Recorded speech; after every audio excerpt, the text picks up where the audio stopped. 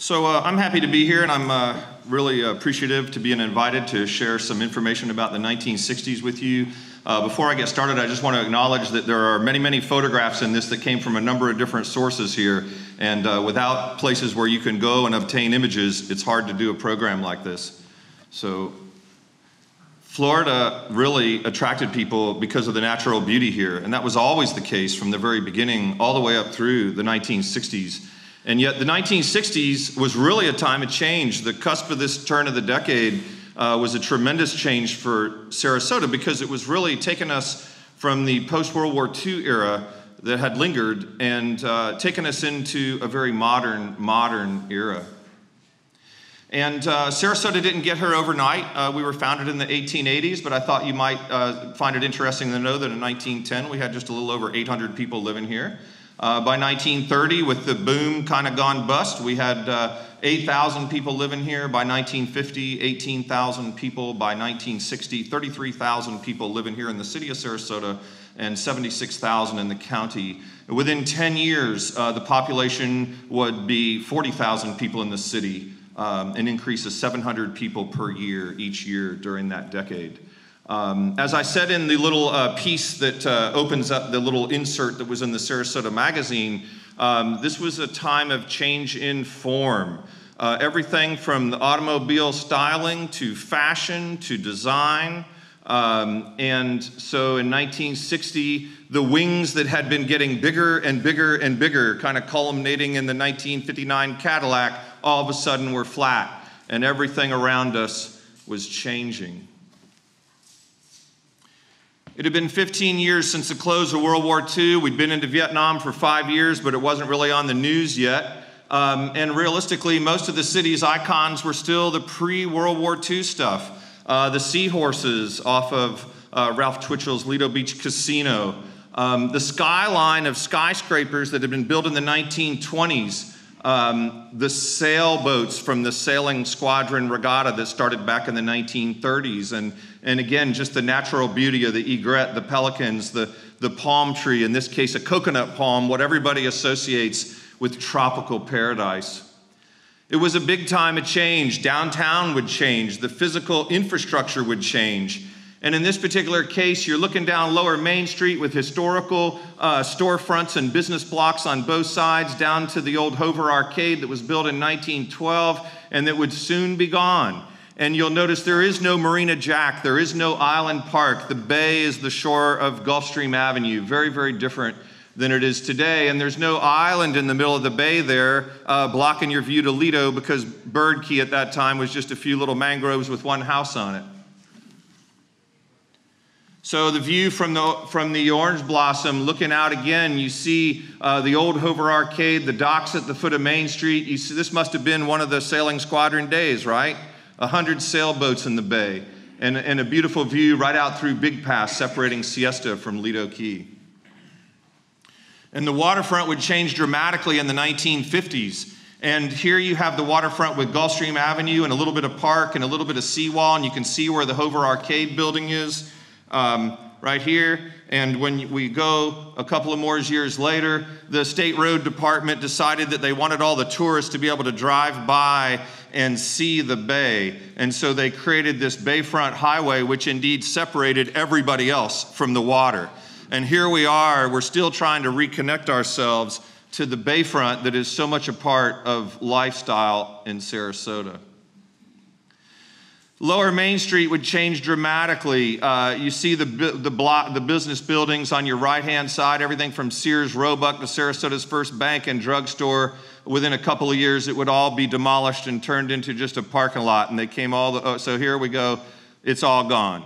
And uh, so just, and then later, uh, it was a parking lot. That's what we do mostly with historic buildings in Sarasota. We, we put parking lots there. 1959, the circus pulled out of the winter quarters out east of town off of Beneva Road. And while they did move to Venice, this was the last time that train pulled out of the station at Sarasota. And without those winter quarters out there, which were just abandoned at that point, um, Sarasota reverted back to what had attracted people here at the beginning, which was basically the beaches and the weather and nature And so in the 1960s, all the promo was about the beaches. This is a great little magazine called Panorama of Sarasota that has wonderful aerial images in it that you'll see in a moment. And, uh, you know, the beaches were uh, hotels all the way down Lido, where mostly you have condos now. This was how people got introduced to Sarasota. They'd come for a weekend or come for a week, then they'd get an apartment and stay for six months, then they'd buy a home and stay here forever. And that's how that population grew. This is the Lido Beach Casino, built in 1939, kind of an Art Deco style with those seahorses on it, so iconic of Sarasota. And this is actually, most of the photographs that you find of it are from the, the 40s, but this is actually one from the 1960s, showing folks having a lot of fun out there at the beach. But that was only the case if your skin was light colored like this. If your skin was a darker tone, you weren't welcome at the beach. And so throughout the 1950s, the residents of Sarasota's African American community tried to stand up for their own rights and go out and actually utilize the beach, which resulted in complaints, um, uh, police blockades, and ultimately in the mid 60s, believe it or not, a absolute prohibition of African Americans on any local beaches. So this was Jim Crow, south of the South, so to speak. But still, um, this photograph shows a teacher at Booker School who has no uh, students in the classroom on this day. And the reason why she has no students is because the school system had closed, was moving to close the Booker schools. And when they said they were going to close the Amaryllis Park School and bus all the African American children out to the white schools, the students themselves decided to protest. And so over 2,300 students said, We're not going to school. But what they really said was, We're not going to the public school because students at New College and some of the other older students at Booker, they organized what was called the Freedom Schools. And here's the little poster that they put up the clicker, the poster that they put up in, encouraging everybody to boy, boycott the schools.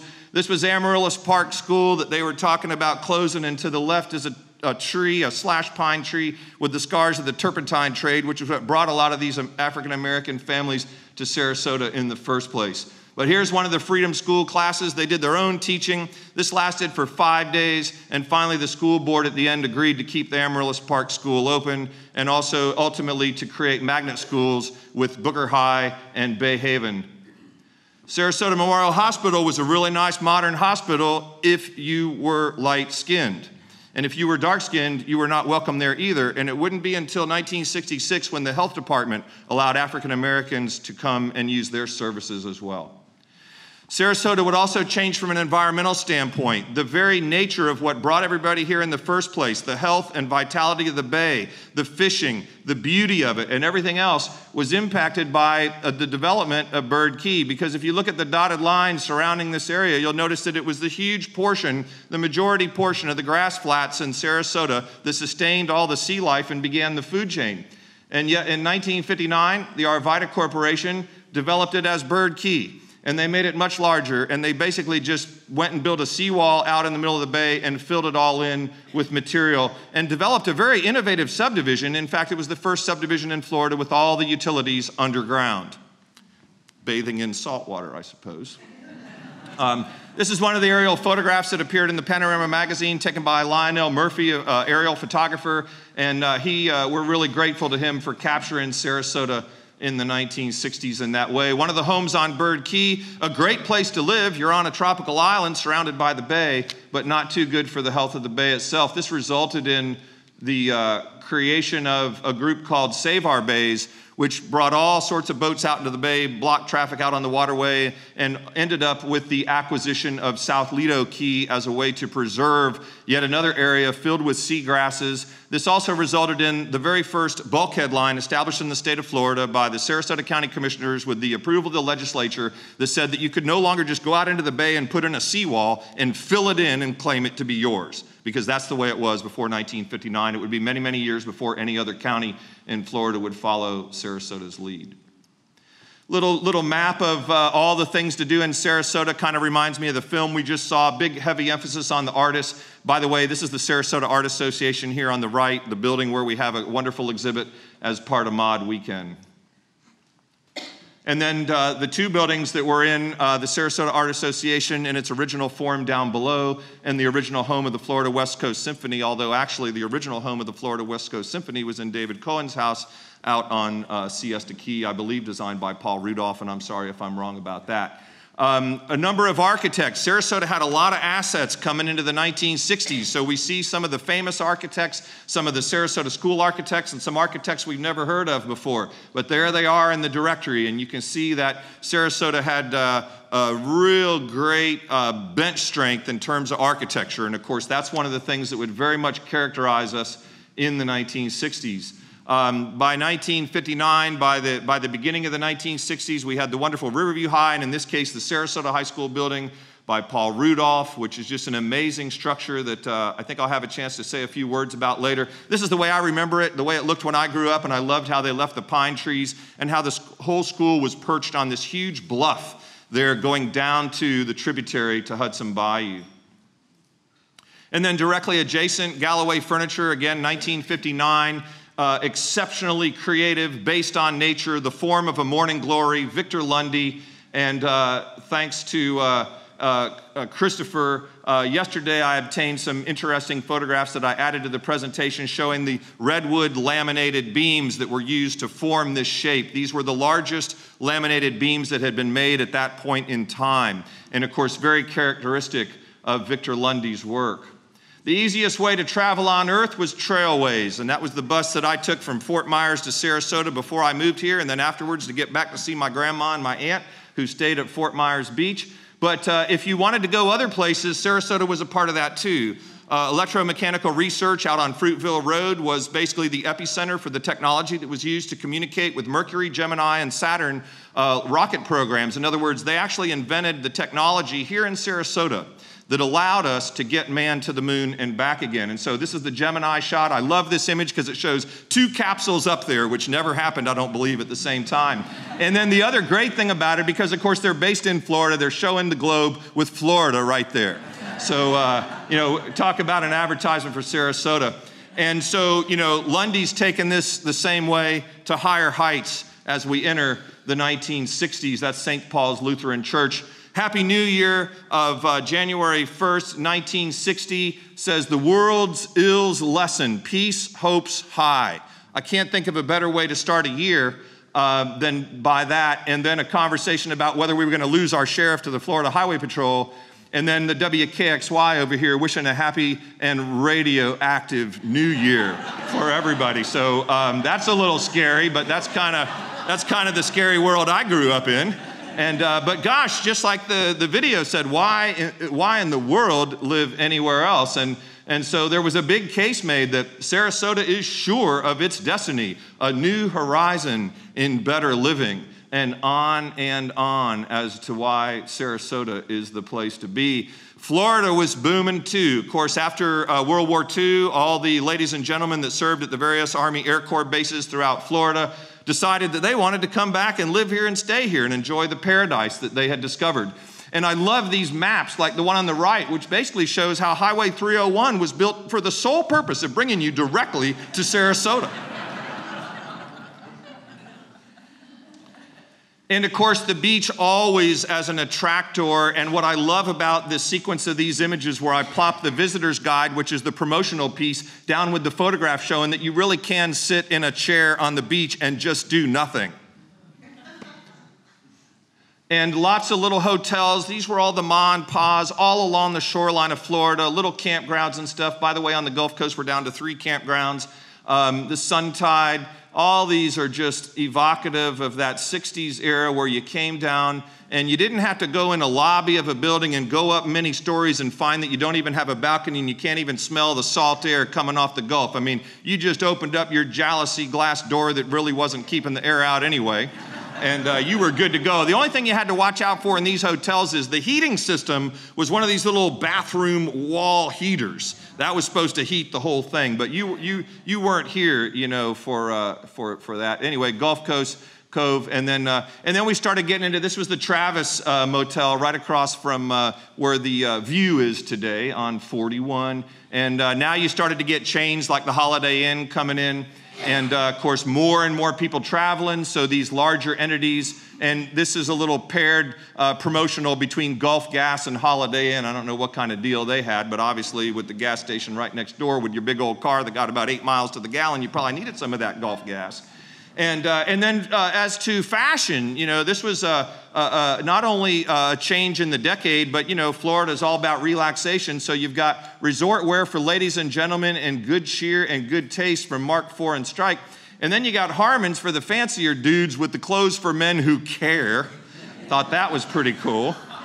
Uh, and then you got Hayden's on Palm Avenue, moderately priced dresses and accessories. And then you got Webb's of Sarasota. And uh, we've actually, Webb's is in a little um, um, Sarasota School of Architecture building on Palm Avenue that uh, one of the tours is going to take a look at later today. And here's the little view where it's just all glass, folks, so you have no trouble seeing the clothes that you must buy. And you're just walking by or driving by and you see a nice jacket and you just go on in there and get that. And that's exactly what they wanted you to do.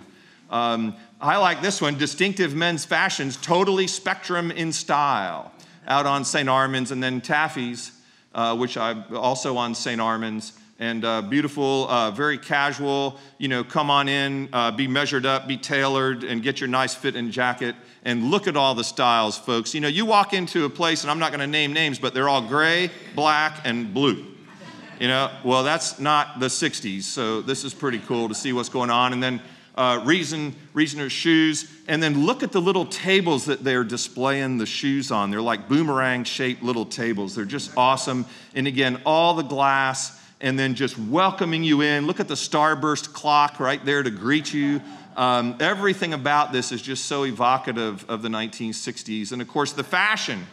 And this isn't, these aren't just fashion shots that I pulled off of Google. This is Sarasota stuff. This, these are photographs taken in Sarasota um, and uh, you gotta love it. Um, the skirts are getting a little shorter, as you can see.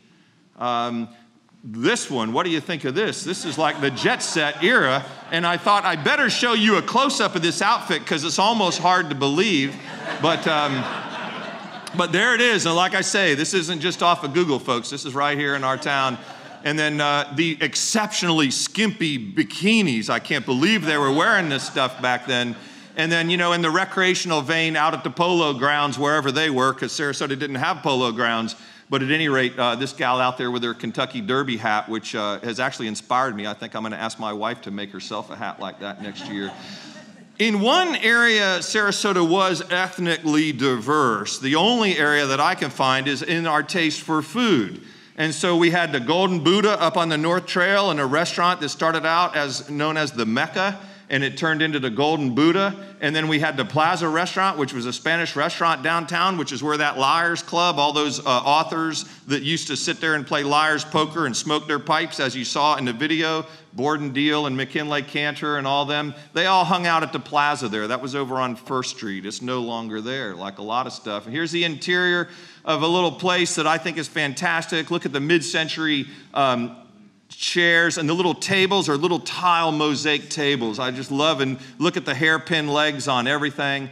Just a, a big, huge, huge change from the styles before that. And we had um, apparently two radio, we had a couple of radio stations. This was my favorite when I was growing up in the 60s. Every Saturday morning, you went down to Cuban's Music at Ringling Shopping Center and got your top 40 list. I can almost see it in my head and tell you what was on the top 40 list in the 1970s, but it was all the hits, all the stars, all the news, day and night, 9.30 on your radio, dial WKXY. But I want to know how many people in the room, including the organizers of this event, knew that there was a WSAF in Sarasota at 1220 on the dial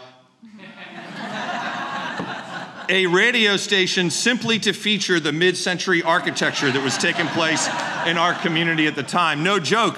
And, and here's the entertainment center. Now you do a whole theater room. This is the entertainment center of the day, and this is one hi fi right here, folks. This is where you actually watch the record go around. That was your entertainment, it wasn't a TV. And these big, big speakers that gave you real sound. And oh my gosh, the music that they're listening to these days, it just sounds like noise.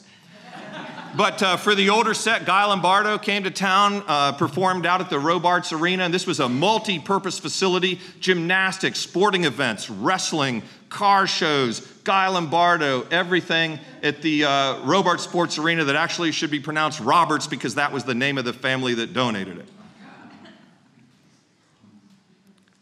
And uh, for baseball, we'd had baseball in Sarasota since the 1916 when the first Sarasota baseball team was formed. New York Giants in the 1920s, Chicago White Sox um, here in the 1960s, and that's Al Lang down there on the lower left-hand corner, who was mentioned in the uh, in the film. And then Sarasota had a lot of what they called the tin can tourists. Okay, and the tin can tourists came down in all sorts of homemade and factory trailers camped out here at the Sarasota Mobile Home Park and had a lot of fun. You see the Payne Park Baseball Stadium in the middle there. So they all had a front row seat. They do some square dancing. Half the people in this trailer park were, were, were retired performers from the circus. When I was growing up, you'd have all the munchkins from The Wizard of Oz walking around and going over to Publix. And I'm like, this is interesting. I'm taller than them and I'm only eight years old.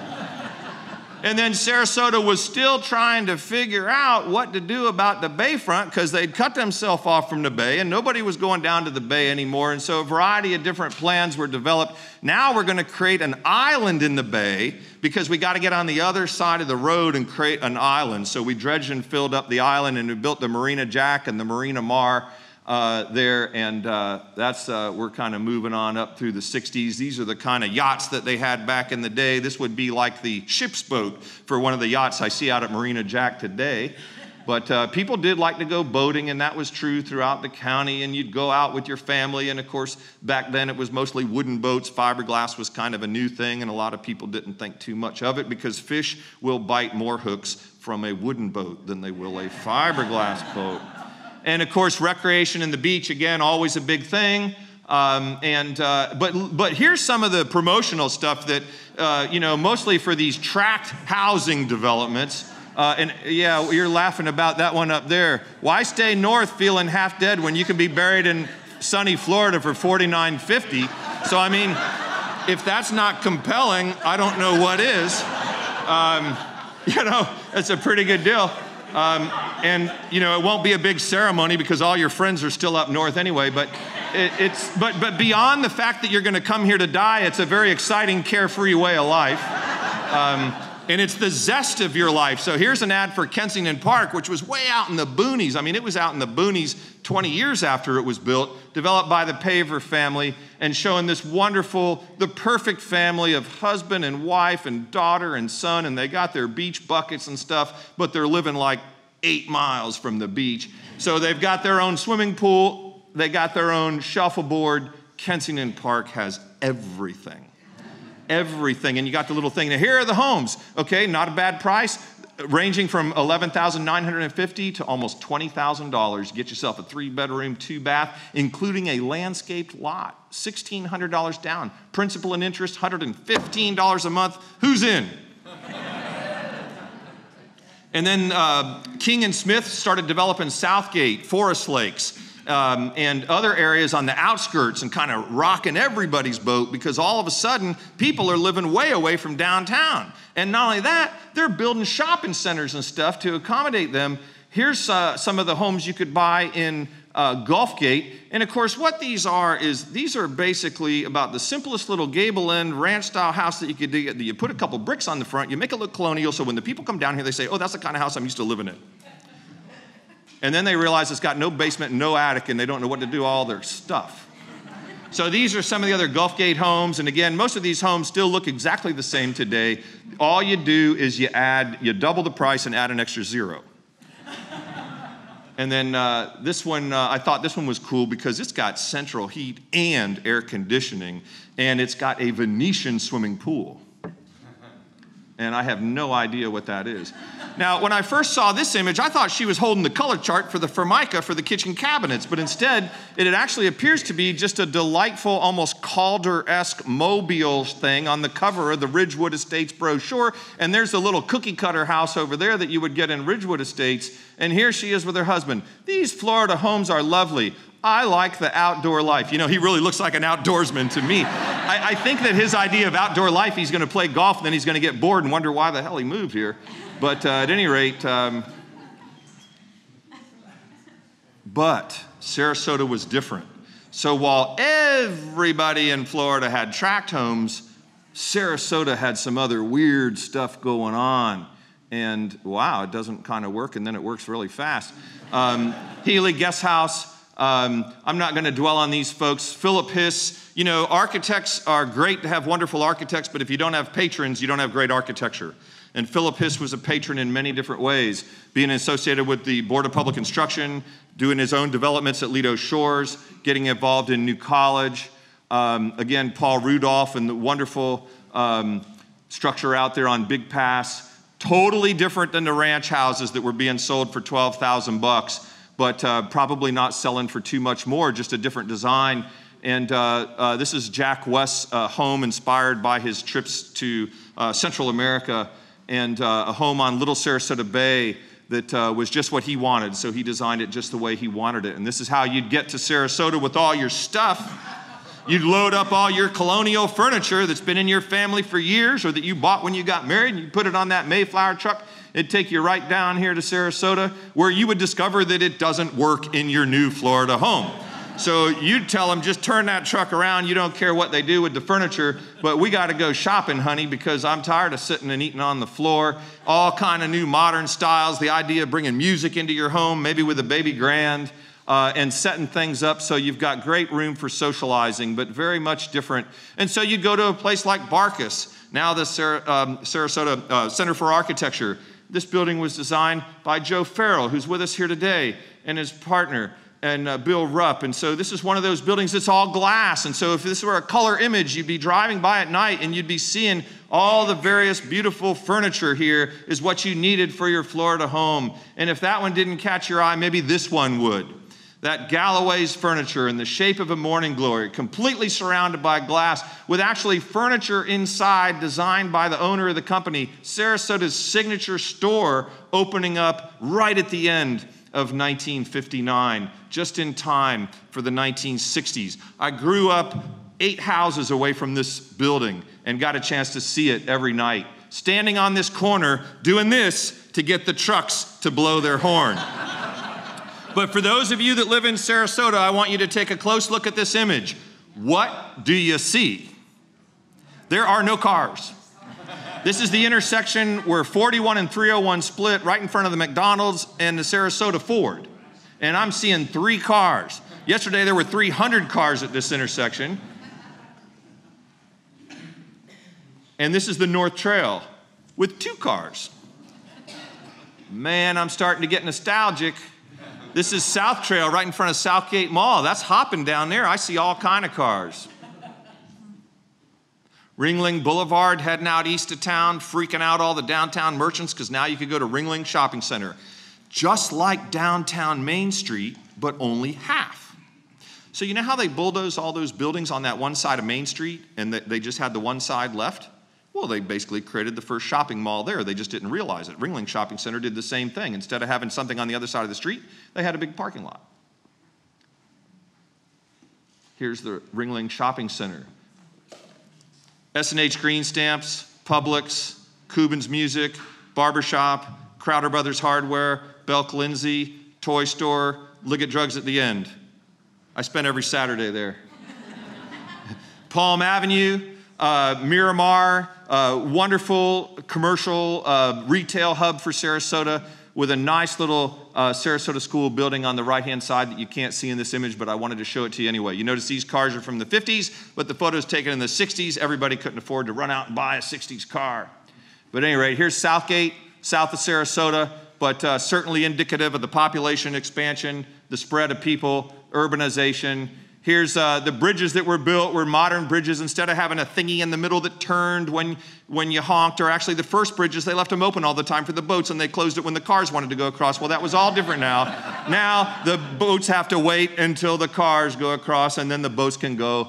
And, uh, you know, Lido, we've got the Landmark Hotel out there, big old skyscraper, um, Jack West design. Uh, when we got Frank Folsom Smith's Plymouth Harbor, I think the tallest building in Sarasota when it was built uh, as a retirement facility uh, by the Presbyterian Church, and then an aerial view of that out there on Coon Key in Sarasota Bay. Wonderful place to be. And then the terrace out on Siesta.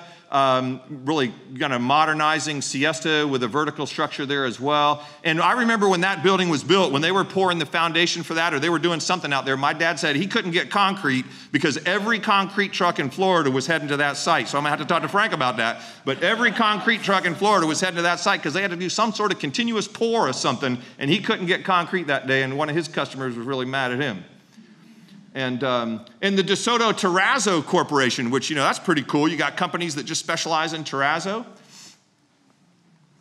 and Shepherd Lumber Company, where you got all the wood. So I thought these things would be kind of cool to see as I kind of wrap up my little things about the '60s, and then Gulfstream Towers.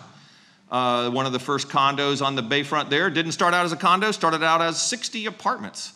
Tim Siebert design, kind of cool artist rendering making everything look so smooth and neat and tidy and cool and modern as it was. And the Siesta Beach Pavilion, again, Tim Seibert, um, conceived by or, or, or spurred by a very uh, powerful uh, Parks and Rec advisory board run by a guy named Ray McCarthy, no relation to me. And one of my favorites, if not my favorite, um, the Venice Beach um, pavilion, hyperbolic parabola, the largest one of its type in the world. This architecture was easy. It's just a mathematical equation. And wings on the pavilion, wings on airplanes, Sarasota's modern airport. You know, when Sarasota was founded, everybody came by boat, then they came by train. By the 1960s, they came by car. By the 1970s, they came by plane. Philip Hiss and Ken Thompson, I think that what, he, what Philip Hiss was doing here was convincing Ken Thompson, the city manager, to hire Jack West to design a new city hall building, which he did. Of course, they gave him a million dollar budget, so he designed a glorious building, and then they said, You only got like 600,000 to work with, so you better dumb it down. Jack hated that. He did this one across the street for the uh, Chamber of Commerce. He decided to just to dumb it down first. That way they wouldn't mess with it. By the way, um, Jack's famous quote to me was um, If life were a baseball game, the score would be architect two, bureaucracy seven. and uh, the school, that, uh, the Alta Vista School, the Butterfly Wing, uh, glorious, glorious educational thing. I'll talk more about that later. Uh, the inner hallway of the Butterfly Wing, uh, very unique structure, all about learning. Jack West's original design for Tuttle, uh, Tuttle Elementary School. Oh my gosh. And so things are getting space agey again. Here's Jack's design to how to fix the bayfront, but it would be easier to get to the moon and uh, New College, as again was mentioned in the film, uh, really bringing some tech, uh, some uh, thought to Sarasota. You know, we had graduated to the point where we were ready for a college, and of course, a lot of great architecture there that I don't have time to talk about. But I did want to touch again on EMR because this was our connection to what was going on on the planet and they were taking all these wires and all this stuff and trying to cobble together something that would talk to things in outer space. And all of it was based right here out of Sarasota. All the telemetry, every communication piece for the space program came here. And uh, Sarasota firm handles the space jobs. It's uh, pretty cool stuff, something to be proud of. Basically, they cobbled together a tape recorder and a couple other primitive things, and they made a way to talk to the guys up there and get the, get the rocket to come back down, which I think is pretty cool um, and uh, Men Walks on the Moon, and this is pretty much as 60s as it gets.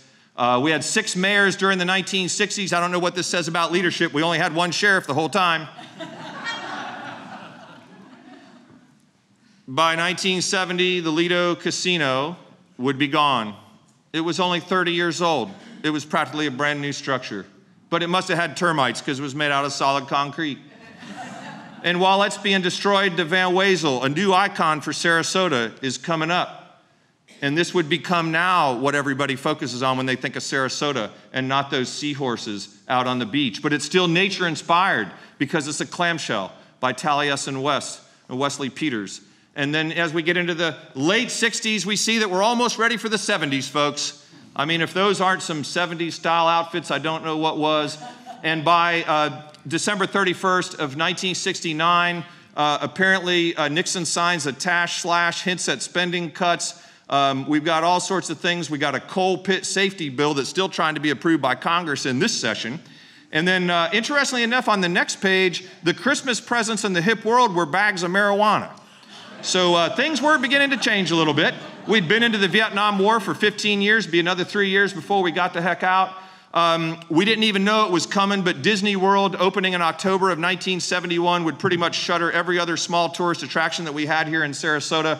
So, a year and a half out, Disney was there. By 10 years out, we'd have the interstate changing everything.